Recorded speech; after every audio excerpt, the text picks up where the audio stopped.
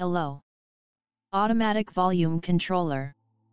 At the end of this video you will get to know, what is AVC or Automatic Volume Controller, first we talk about why AVC is need. Why AVC is a solution. A demonstration of AVC and, the advantages and disadvantages of our design. Why AVC is need. Normally, different people talk in different volume levels. But when two people are talking using a microphone, if one will speak loudly and the other one speak normally then the people who listening to the talk will hear a loud voice from the first person and less loud voice from the second person. Maybe some people will not hear it.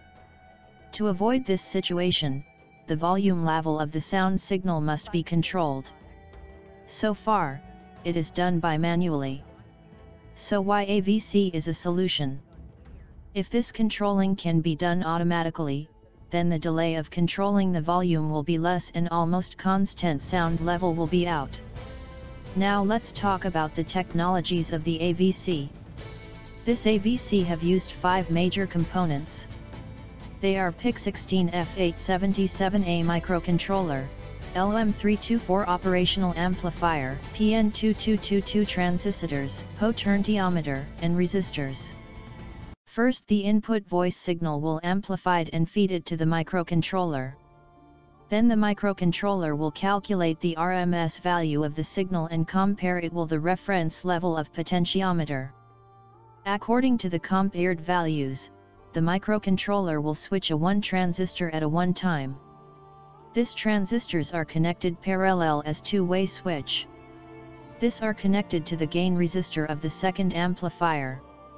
Changing the gain of the amplifier, the output signal is controlled.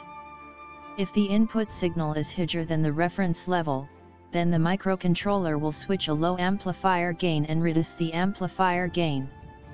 Also it switch to high amplifier gain if the input signal RMS is higher than reference level.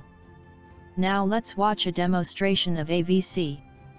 In here, you can see 500 Hz pulse signal as input while changing its amplitude. You can see the output signal above the input signal, which has less changes. Because we are using 4 amplifier gain levels, the changers of output is less. This can improve using a digital resistor.